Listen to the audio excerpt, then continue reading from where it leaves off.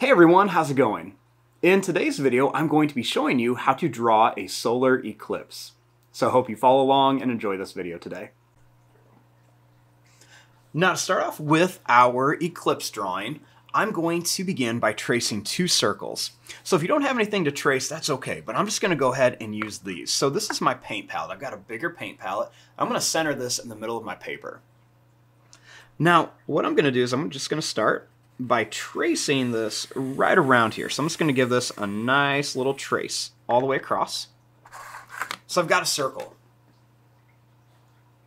Now I also have the smaller paint palette. So what I'm going to do is I'm going to kind of line this up over here in the corner. Now like I said, if you don't have any of these, you can just draw these. But I'm going to go ahead and line this up right on the edge and I'm going to give this a nice little trace right around here. So I have a big circle, and then now I have a smaller circle in front of it. Now, my big circle is going to be the sun, and my smaller circle is going to be the moon. So I'm going to begin by working on the moon. So I'm going to give this kind of like a funny little cute face.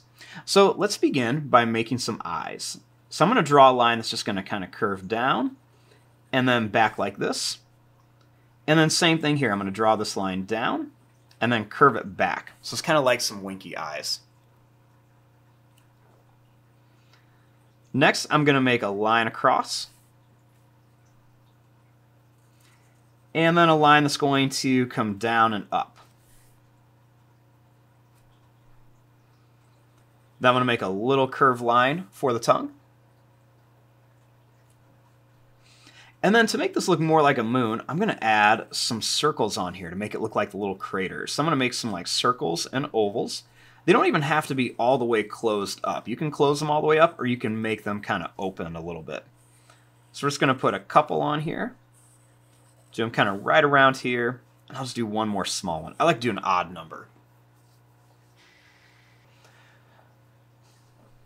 Now, over here, I want to make the sun. So I'm to make a little face for the sun. So I'm going to make a circle for an eye right up here.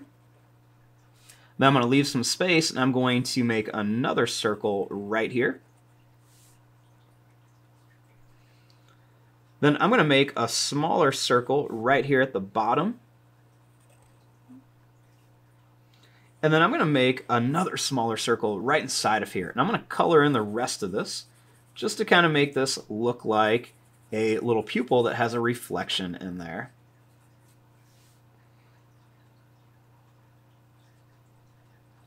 Now I'm going to give this sun a mouth too. So I'm going to start by drawing a line here. Then I'm going to make a line that's going to come down and up here. I'll make a little sad face for the tongue. Then I'm just going to make some little curved lines for some teeth up here.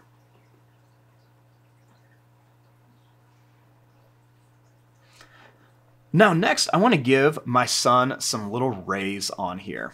So I'm just going to go and I'm going to make some nice little triangle shapes all around here. Now, they don't have to all be the same size, but you can definitely do that if you want to. I'm just going to make just some simple triangle shapes all around here. I'm going to keep them kind of close to my circle. Then we're just going to finish it off right there. And then finally, if you want you can leave it like this, or you could always go and you can add like some little stars back here if you want to, with just like some little circles. But that's to totally up to you. But I'm just going to go ahead and make some like small circles around here. Just kind of make it look like there's some little stars back here. That's going on during my solar eclipse. And there you go. There is your drawing of a sun and moon making a solar eclipse. I'm going to fast forward and start coloring this. Thanks for watching. Hope you enjoyed.